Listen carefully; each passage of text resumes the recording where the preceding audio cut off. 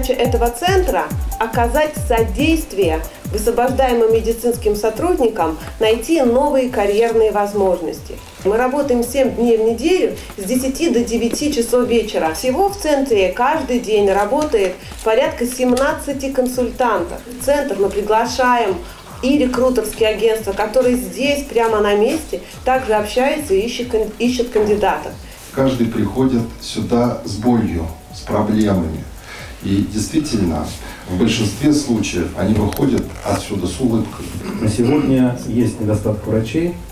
148 вакансий среднего медперсонала, среднего и врачебного медперсонала. Мы делали опрос по нашей ассоциации. Врач-терапевт 74 тысячи, медицинская сестра 32 тысячи, стоматолог-терапевт 64 тысячи рублей. То есть, если сравнивать с московскими зарплатами, они, наверное, такие же или даже, возможно, по некоторым показателям чуть ниже. Ну, в Московской области у нас функционирует 341 медицинское учреждение. Имеются заявки от 293 медицинских учреждений. И требуется им 3027 работников, из которых врачей 1518, медицинских сестер 1069. Потребность у нас большая, это те заявки, которые непосредственно размещены у нас. Какие же услуги представляет центр? Это три очень простые услуги, которые оказались максимально востребованы. Первая услуга – это вакансии. Мы можем сейчас в Центре содействия удовлетворить любой запрос по вакансиям. Первая группа – это те вакансии, которые выдают нам учреждения Департамента здравоохранения по дефицитным специальностям. То это врачи общей практики, это врачи, участковые терапевты и педиатры, врачи-рентгенологи, анестезиологи, реаниматологи. Вот это основные рентгенологи. Это основные группы э, дефицитных специальностей. Соответственно, вторая группа – это и акушер-гинекологи, и урологи, у нас есть эндокринологи. То есть все практически специальности представлены в базе данных. И третья большая группа – это вакансии, которые не медицинские, которые нам э, передают наши подведомственные организации. А можете назвать э, врачи каких специальностей чаще всего обращаются к вам? То есть можно сказать, что, допустим, хирургов или еще кого-то больше, чем остальных. Это первый вопрос. И второй. Если все-таки вы не смогли помочь медицинскому специалисту с поиском вакансии, что ему делать? Не было еще пока кейсов, кому бы мы не могли помочь. Вот пока кейсов не было. Что касается того, кто к нам приходит, то хочу напомнить вам, что мы имеем дело с медицинскими работниками э, государственной системы здравоохранения в основном.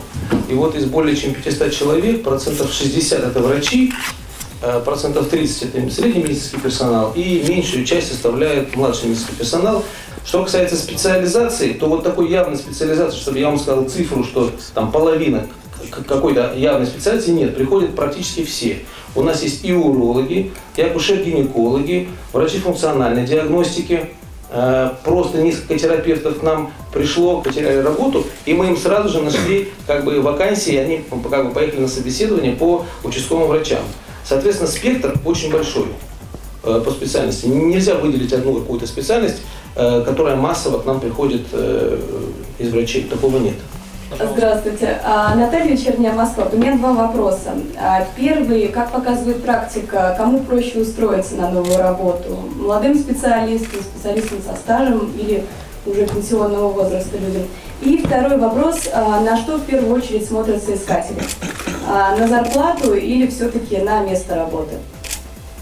Конечно, молодым лучше искать работу, очевидно. Только потому, что они мобильны, они готовы рассматривать разные сценарии. А первичное звено, это вот фельдшерско-акушерский пункт, поликлиника, э, врачебная общая практика, там действительно больше идет молодежь. И у нас очень востребованы, например, эндоваскулярные хирурги, кардиологи. А, причем независимо от возраста, это люди высокой профессиональной квалификации. Что для них важно? А, безусловно, важна зарплата, понятно.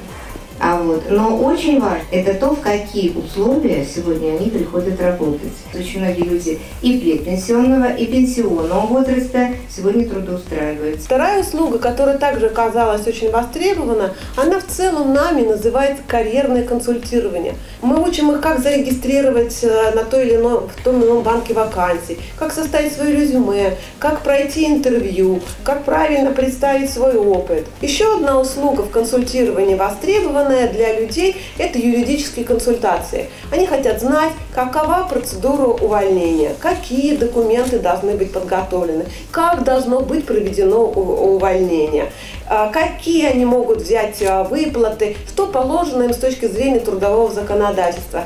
То есть вакансии открыты, вакансии размещаются, и э, далеко не все э, э госучреждения э, на сегодня размещают их в открытых источниках. И, зада... и программа карьерного планирования, которую мы сейчас с Центром содействия э, проводим, как раз и заключается в том, чтобы помочь кандидатам научиться искать работу. Сами кандидаты должны понять, сами сотрудники должны понять, что их судьба, их карьера находятся в их руках, и для этого нужны карьерные консультанты, которые помогут им сделать следующие шаги в будущей карьере. И третья очень важная услуга – это система обучения. У нас в городе, в системе здравоохранения есть ряд вакансий, чрезвычайно востребованных, на которых есть большая нехватка специалистов. Это вакансии семейного доктора, вакансии врача общей практики. Поэтому а, Департамент здравоохранения разработал несколько великолепных программ, которые позволяют людям гарантированно найти работу, переобучившись. И, безусловно, они смогут найти работу фактически в любой поликлинике. Обучение – это одна, одно из ведущих направлений нашей работы, медицинское обучение, имею в виду. Речь идет в первую очередь сейчас по подготовке, первичной переподготовке э, врачей общей практики, терапевтов и педиатров – объявлена уже программа, мы набираем активно группы. С 12 января открываются в Первом медицинском университете и соответствующее обучение. Будут обучаться врачи общей практики, которые очень нужны городу и являются дефицит, крайне дефицитной специальностью. Кроме этого, в этой программе участвует и второй медицинский институт, третий медицинский институт, и медицинские факультеты э, всех университетов города Москвы. Мы сегодня открываем 133 фельдшерских акушерских пункта. Причем есть интересная очень программа у нас, это модульное строительство, типовые модули с квартирами в этом же здании, предоставлением жилья семье э, врача, среднего медработника, если это фельдшерский акушерский пункт. Первое время это будет служебное жилье с последующей приватизацией. А, в медицинском отделе есть такая должность, которая называется специалист по фармакобезопасности или фармаконадзору. Естественно, необходимо дополнительное образование, которое на сегодняшний день э, существует в высших учебных заведениях идет как дополнительное образование а, с получением сертификатов, с получением удостоверений, и после этого можно претендовать на эти должности. А если это западная компания, конечно, в обязательном порядке будет требоваться иностранный язык, но там и уровень заработной платы выше. Если это российская компания, то уровень заработных плат на позиции э, монитора, на стартовой позиции монитора клинических исследований может стоить не ниже 50 тысяч рублей. Московская служба занятости готова предоставить услуги по дополнительному профессиональному образованию и профессиональному обучению граждан, которые хотят сменить сферу деятельности. Мы составляем график работодателей, которые готовы вот здесь а, по, по дням, мы выделяем каждому день, и они здесь присутствуют прямо в зале целый день, они общаются с людьми. И кандидаты тоже заранее зная, кто будет, а, какая компания, если они уже нацелены, они в принципе приходят, в том числе, чтобы познакомиться с работодателем. Все поликлиники Москвы и наша поликлиника, не исключение, имеют большую потребность во врачах общей практики. Иначе их мы называем еще врачами семейными. Наша поликлиника уже сейчас направила 19 врачей на переобучение, для того, чтобы к нам вернулись наши врачи, но уже в ином качестве врачами общей практики. И сегодня наша поликлиника готова принять и пятерых врачей, участковых терапевтов.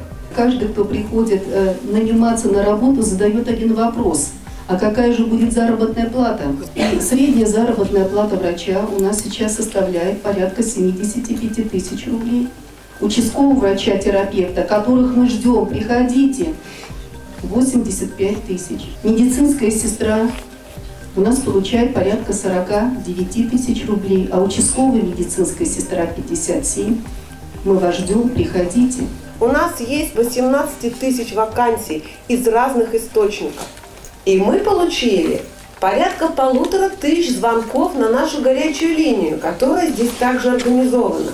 Часть людей приходит еще онлайн, так как бы самостоятельно, потому что порядка 4 тысяч человек в день просматривают наш сайт, который мы создали, и может быть вы его уже видели, сайт называется sot.most.ru. Коллеги, спасибо большое, я благодарю наших выступающих за то, что пришли, поделились мнением. Спасибо.